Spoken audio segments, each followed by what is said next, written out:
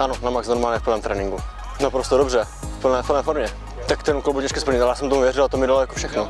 Jen ta víra mi dala hodně, no. Ta příprava byla dlouhá, díky Andrele Sportu a Kubovi, Fričovi můžu poděkovat za to, že jsem tady a že jsem v plné formě.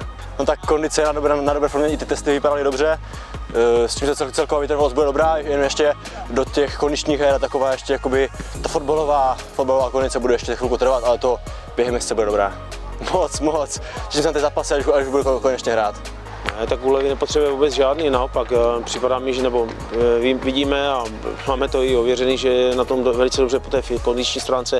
Samozřejmě měl velký herní výpadek, takže doufáme, že těma herníma tréninkama plus přípravnýma zápasem se do toho velice rychle dostane. Ale my jsme z něho velice milé překvapení, takže takže vypadá na dobré cestě. V té hře samozřejmě s tím míčem je to trošku ještě pro něj složitější, protože fakt vypadal na dlouhou dobu, ale co se týká té fyzické přípravy, to je základ, ten má, takže, takže tam problém absolutně nebude. Já věřím, že se toho velice rychle dostane. Uvidíme, až eh, dostane prostor v některým z těch přípravných utkání, jak bude vypadat a, a jak se on bude cítit.